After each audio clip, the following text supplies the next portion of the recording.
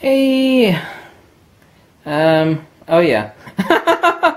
um. Getting deals on Pe- Pelican cases are really nice, but they're insanely expensive. Um, go on eBay. I've actually done this a few times. I uh, my Voigtlander lenses are tiny little suckers, and uh, they're actually sp- were spread out over a few different cases.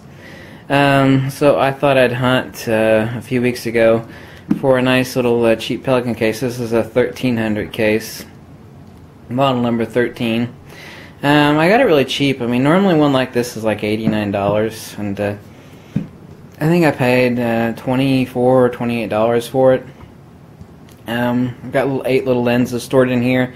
There's two in each slot with a foam divider, so you can see there's another one down there. So two, two, two, two, eight total in here. Um, sometimes uh, the foam, usually the, the foam's missing, or it's been picked out.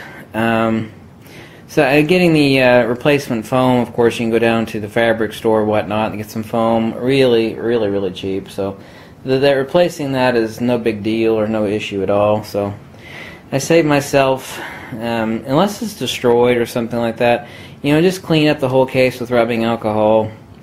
Uh, spend five dollars on some foam so you can get a nice, uh, you know, ninety dollar Pelican case for thirty-five bucks instead, and uh, you know you've got a nice uh, case for your lenses or for your gear.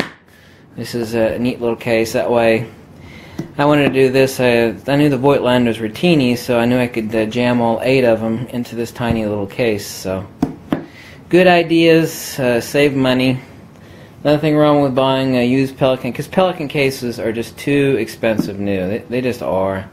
I've, I bought several of them new, and it's like, why should I, you know? I can buy the replacement foam at the fabric store, and I can get the case for 70% off by buying it through eBay, so why not? Um, just think about it. Save yourself some money, okay? Catch you later.